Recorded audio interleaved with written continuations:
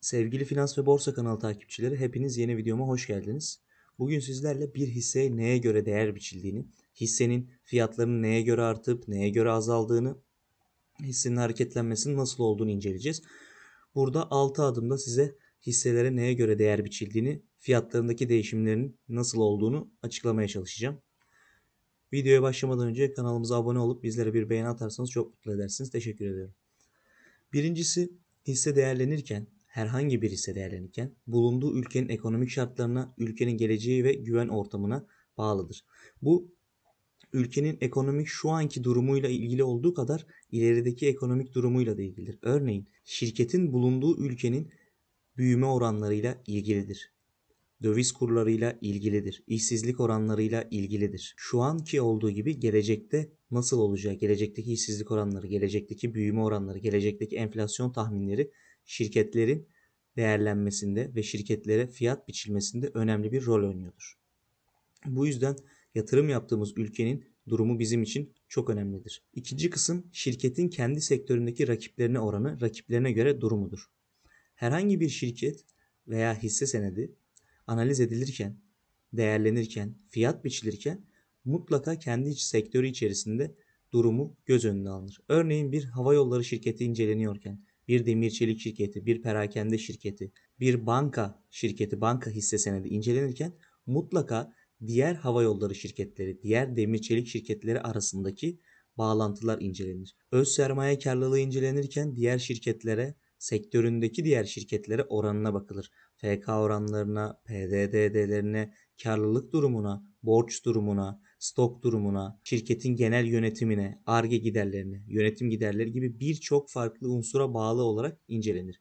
Şirket incelemesi yapılırken en önemli ve kritik noktalardan biri sektörü içerisinde nasıl bir durumda olduğu. Sektörünün zirvesinde olan şirketler her zaman daha yüksek seviyelerden fiyatlanırlar. Sektöründe incelenirken tabii ki geleceğe yönelik sektöründe ne seviyeye geleceği de mutlaka göz önünde bulundurulmalıdır.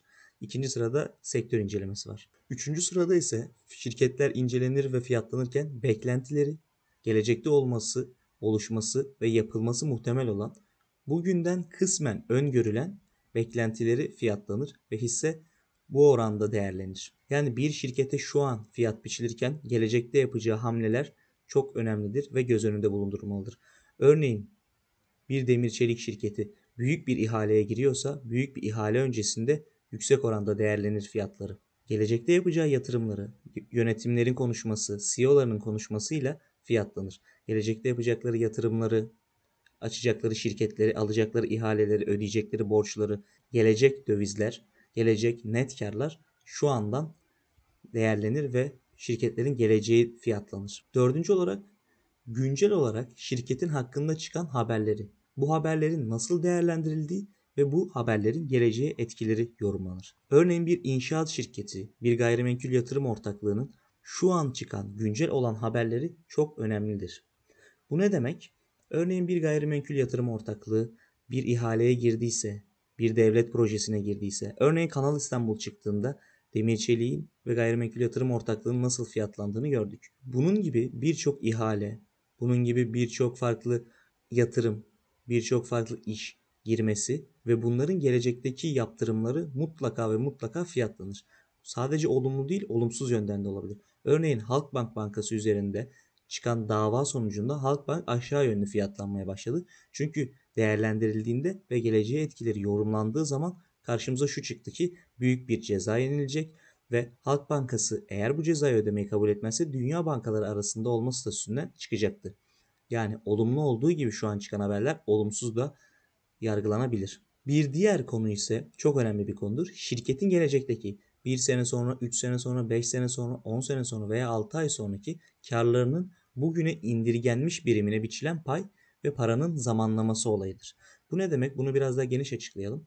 Şu an şirketin karı 1 milyon TL diyelim. Seneye de 2 milyon TL olacağı öngörülüyor. O zaman 2 milyon TL'nin bugünkü para cinsine çevrildiğinde ne kadar ettiği ve ne kadar ilerleme kaydettiği yorumlanır. Bunun formülleri vardır. Dilerseniz şirket değerlemesinde indirgenmiş nakit akımı ve paranın zamanlaması, money timing'in nasıl olduğu, nasıl işlendiği, nasıl hesaplandığını sizlere anlatabilirim. Şöyle kısa bir örnekle söyleyeyim. Örneğin şu an 100 TL'miz var bizim.